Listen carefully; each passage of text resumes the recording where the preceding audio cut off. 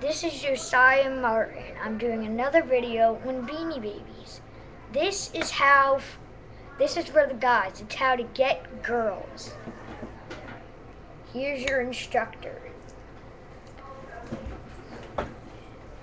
The one, I'm going to show you 10 ways to get Beanie Baby, to get girls. Number one, have long hair like mine. Not too long, but not too short. But don't be a bottle like this guy. Hi. Number two, don't be mean or look mean like this. I mean, would you date a jellyfish or would you date a guy who would look like a jellyfish? No. Number three, don't be rough and tough and don't look rough and tough because girls won't like that. Like this guy. I mean, he looks like he's about to eat you. I don't think anyone wants that. Number four, make eye contact. Make sure you make some eye contact, but don't make too much eye contact like this because it looks like he wants to kill you and he's a stalker. Number five, be mature but be funny sometimes, like him. Because otherwise, if you're not funny, the date will be totally boring. And after a while, a while, she'll get so bored she will dump you. Number six, do not lie. I don't care if you know Kung Fu like this guy.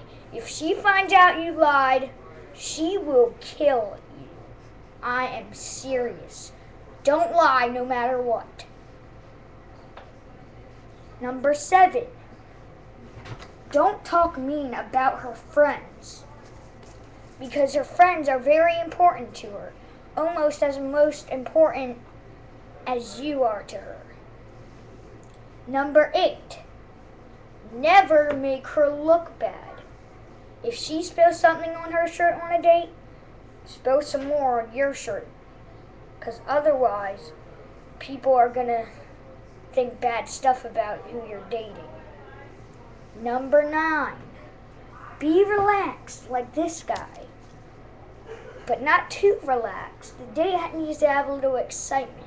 But don't be like this guy jumping around everywhere.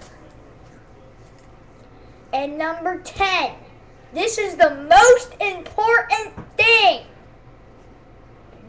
Never, ever, ever, ever, under any circumstances, I don't care if it's true, never call her fat. Even though it may be true, I don't care. Do not call her fat. That is the number one rule. And now we are done.